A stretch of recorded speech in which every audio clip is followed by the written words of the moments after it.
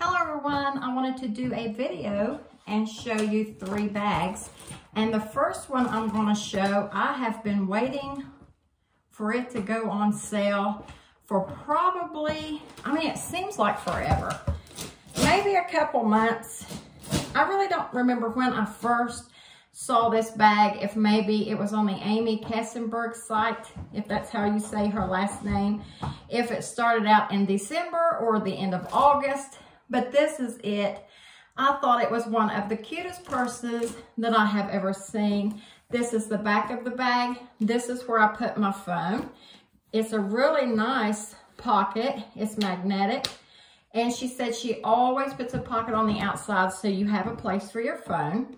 This right here is the softest, smoothest feeling leather. I don't know how she treats this stuff, but it's shiny and it's just so pretty. I have always loved a turn lock closure. And when you open it up, here's another pocket. This is to look like blue jean, but it is also leather. And it really does look like denim. It's really neat how she does her leather. When you open it up, it is a hidden magnet, and I just have hand sanitizer and gum in there.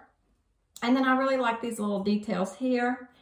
And then down inside the bag,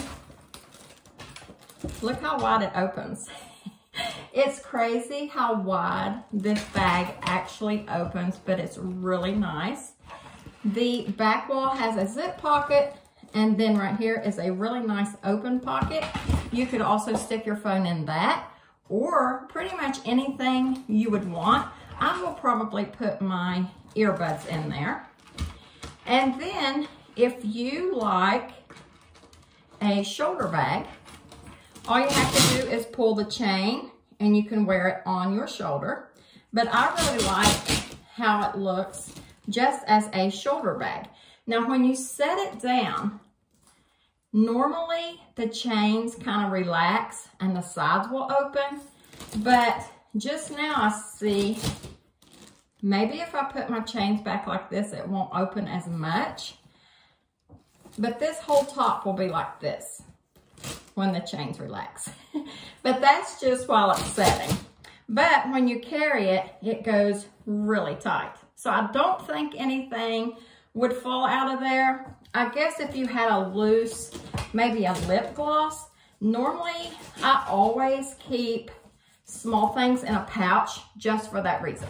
But right here it is on the shoulder, and as you can see, there is room. So I could still have on a coat. But this is so cute. I love it. Oh, and this is fur, and it is a really soft fur. The next bag, that's probably one of my favorite purses ever. The next bag I'm gonna show is Hey Patricia Nash. I know I did a video on this bag in black. I thought that I would really like the red better, but I don't think I do. I think I like the black better. But this one is once again in the picture on Macy's website. This purse looks like it is the distressed leather that I like, but in person it's really glossy and I don't know that I'm crazy about that. The whip stitching in the picture also looked like it was black and it really showed up on the red. That was one of the reasons I wanted it. But in person, the whip stitching is red like the purse. So I really like to be able to see that contrast of red and black. So I'm not crazy about this one. Maybe I should just go with the black instead. The last bag I want to show is a really cute purse. This is a backpack from um, Amazon and it was like $16 and I thought, oh, that would be cute. Even if I decide I don't want it, I know one of my granddaughters will.